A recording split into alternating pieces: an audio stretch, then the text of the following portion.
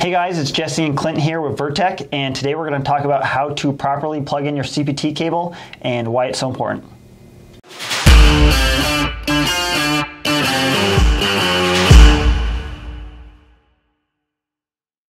Okay, so today we're going to show you how to successfully install your CPT cable, a bit of prep involved, and how to not spin your LEMO harness. Yep. So first step, guys, is to double check your O-ring to make sure that it's clear and clean of debris. And then after that, make sure we put a little lubrication on that O-ring. And you're gonna take your CPT cable, install it in the back of your cone. And then before you slide this nut down, you're gonna wanna fill it with some waterproof grease.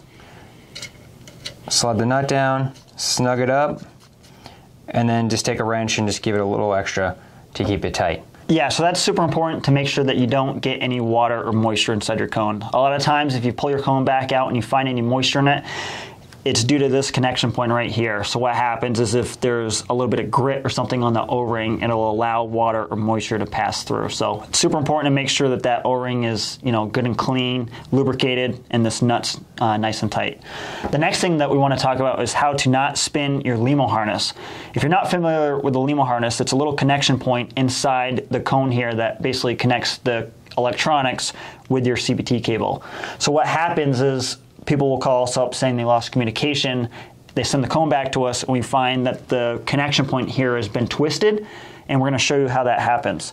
So if Clint were to spin the cone, instead of me spinning a rod or adapter, you can see the uh, cone cable here start to torque.